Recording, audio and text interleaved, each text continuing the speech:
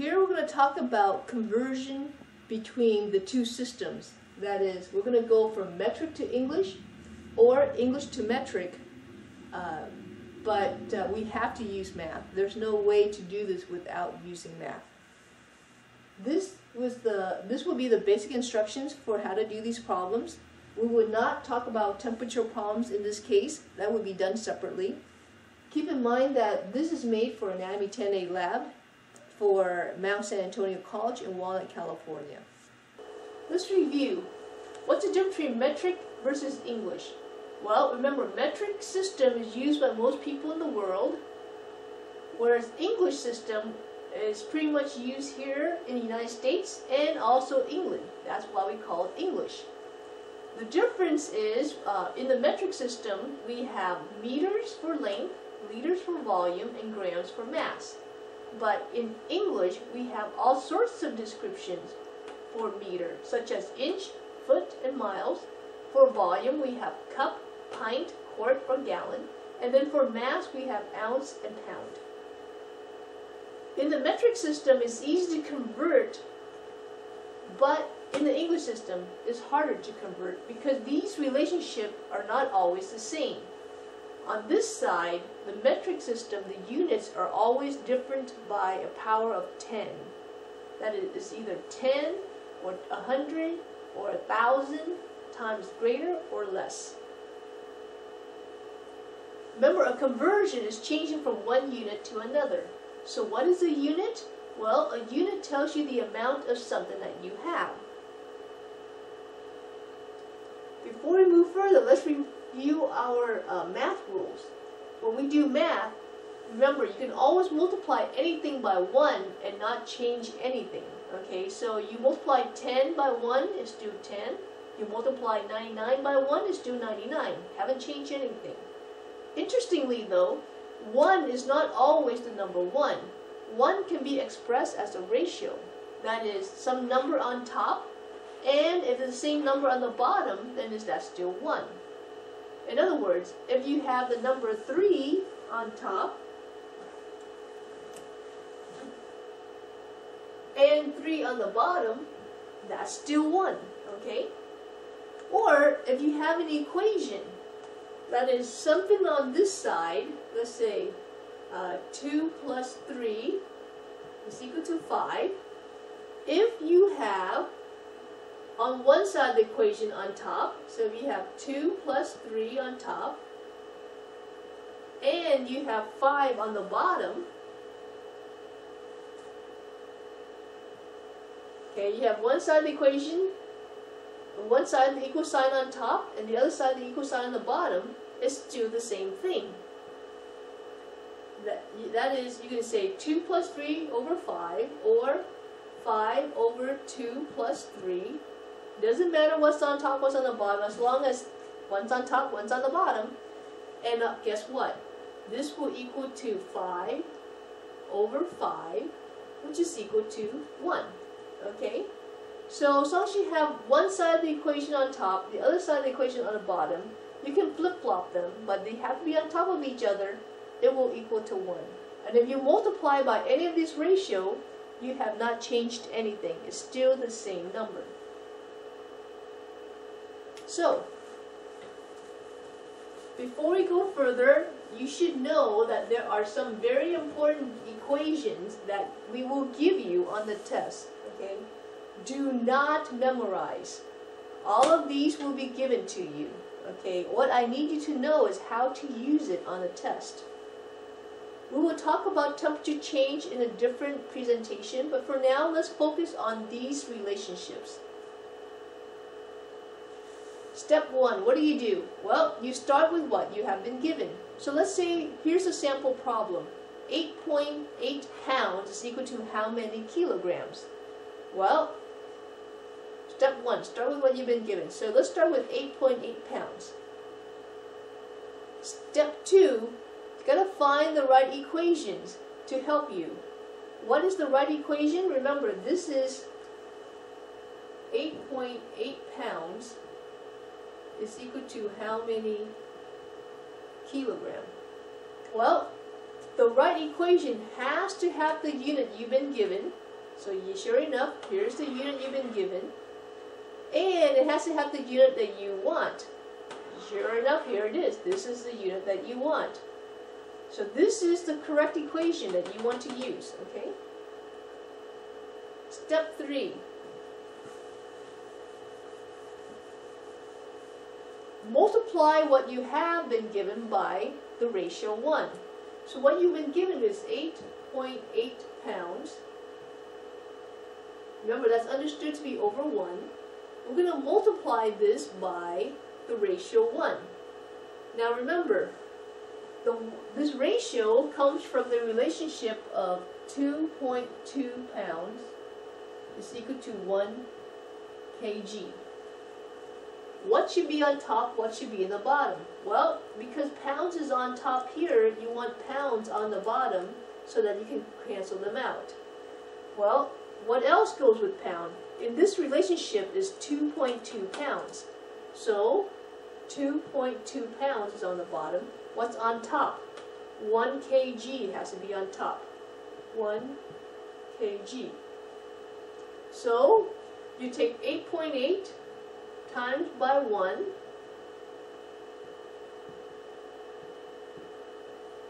divided by 2.2 and the answer now is going to be in kg. So the answer is 4 kilogram. Okay? And sure enough, that's what we did. We'll multiply across the top and then divide across the bottom and the answer is 4 kg. I hope that makes sense. Let's do some practice problem. So go ahead and pause this video while you figure out the answers and then come back when you're done. Here are the answers to the problems that we just did. If you have these answers correctly done, then you don't have to go any further. If you did not do them correctly, then you should continue listening to the explanation.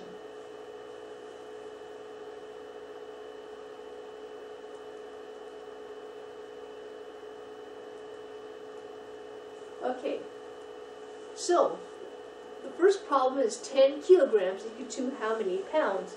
To do this problem, we have to remember the relationship of 2.2 pounds is equal to 1 kg. Start with what you have, which is 10 kg. That's understood to be over 1. Multiply it by the ratio of 1. Okay, now the ratio of 1 has to be written as a ratio of something over something. Well, what's on the bottom? kg has to be in the bottom. Why? Because kg here is on top, and you want to cancel that kg with this kg. So this has to be on the bottom. That's 1 kg. What's on top? 2.2 pounds. And now you multiply across the top. So it's 10 times 2.2 pounds divided by 1. And therefore the answer is 22 pounds. Let's go back to see that's the answer. The answer is 22 pounds.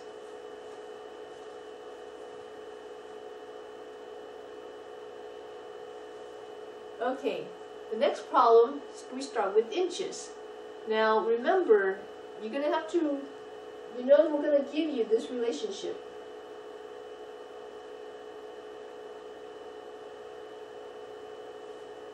One inch is equal to 2.54 centimeter and one meter is equal to 39.37 inches. Okay, so we're going to give you one. we're going to give you these relationships. You just have to know how to use them. One inch equal to 2.54 centimeter.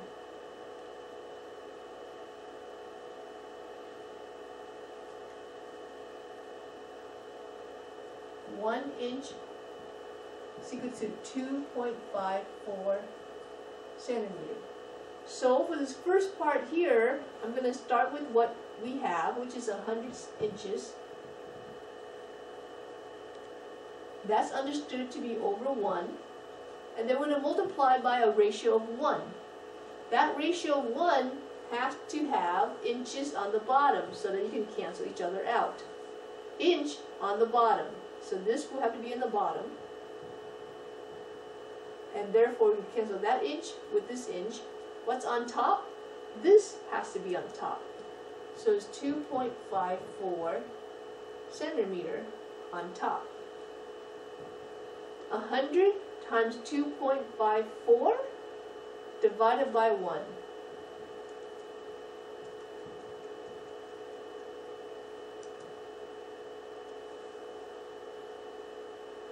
And now the answer is 254 centimeter. Okay? Now, we're going to have to go from centimeter to meter. Well, I hope you remember the relationship here is 254 centimeter. The relationship between here and here is there are 100 centimeter to 1 meter. Okay? So 254 254 centimeter over 1, multiplied by a ratio of 1, but what's on the bottom? Centimeter has to be in the bottom so we can cancel out. So 100 centimeter on the bottom and 1 meters on top. And if you do the math, this is now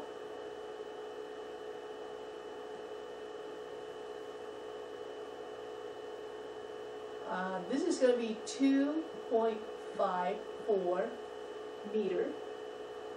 Okay? 2.54 meter. Just put this into your calculator. And I want you to convert that to kilometer. Well, the ratio between meter and kilometer is 1,000 meter is equal to 1 kilometer.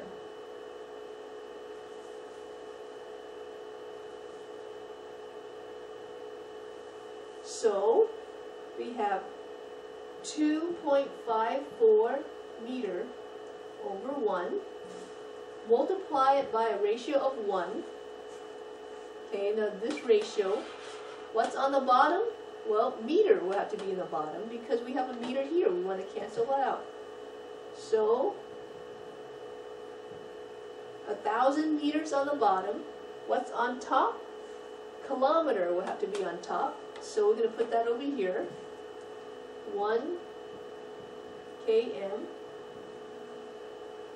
And now you're going to have 2.54 divided by 1,000. And now the answer is 0 0.00254 km. Okay.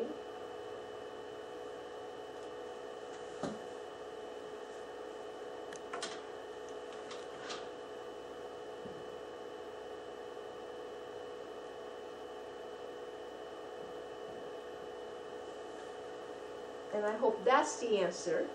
Okay, so let's go back.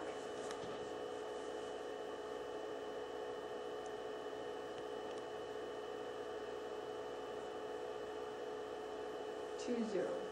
Yes, it is. So I know it's kind of messy, but it's two zero point zero zero. Okay. The next problem. Three meters equal to how many inches? Well, we could use the old relationship of one inch equal to 2.54 centimeter.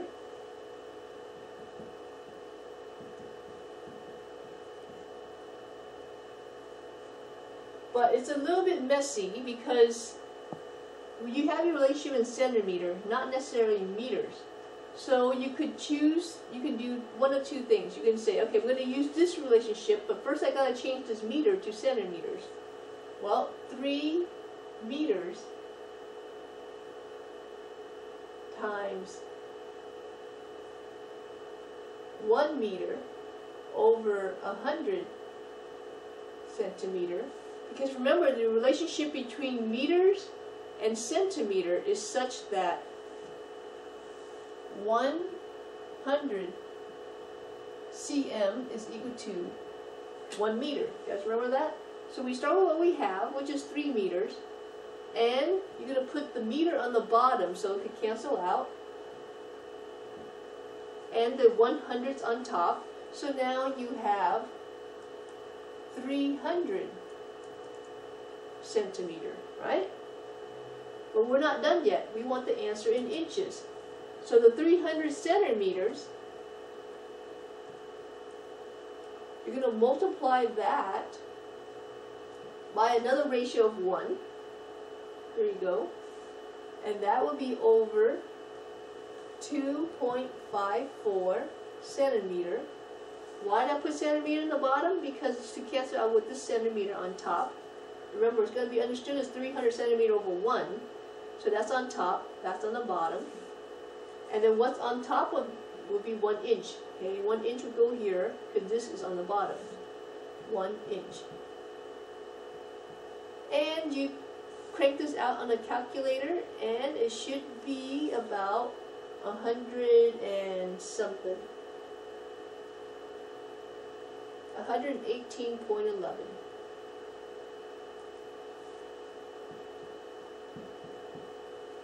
inch. Okay, so that's how you do that problem. And the last problem is this one. Now this is a little bit tricky because what you're going to have to do is, uh, actually before we move on, let's go back to the last problem. There's another way of solving this problem, and that is to use the other relationships. We're going to use this relationship. 1 meter is equal to 39.37 inches. Okay.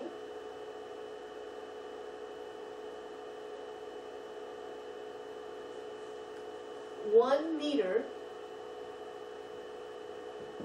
39.37 inches. This is much more straightforward in that you start with what you have, 3 meters, that's understood to be over 1, multiplied by a ratio of 1, but what's on the bottom? Meter will have to be in the bottom to cancel it out. How many meter? One meter. What's on top? 39.37 inches. And if you do the calculation, it should come out to be around 118.11. Okay? That's another way of doing this problem. Okay. Let's go to the last problem. Last problem, we can use the same relationship. 1 meter is equal to 39.37 inches. But first, we got to convert this to all in inches. Remember, there are 12 inches in one feet, one foot, right? So, with six foot person, that's understood to be over 1, we're going to multiply by a ratio of 1. What's on the bottom? The 1 foot is on the bottom. What's on top? 12 inches. And this would be equal to about 72 inches. But the person is six foot one. Okay, so we're to have to add on one more. And that will make it 73 inches altogether. So now we have is in inches, and we can use this equation now without any problem. So I'm going to bring this back up here. 73 inch is assumed to be over 1, multiply by a ratio of this over this. What's on the bottom? Well, inches should be in the bottom.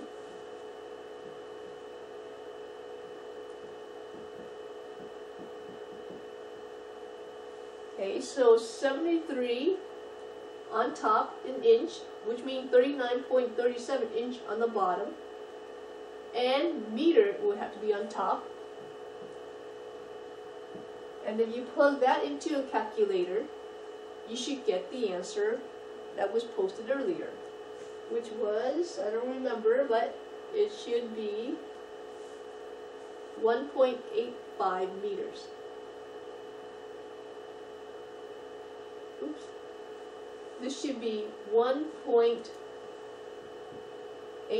1.85 meters, which is, yeah, is about correct. Okay, so the answer is 1.85 meters. So I hope this makes sense.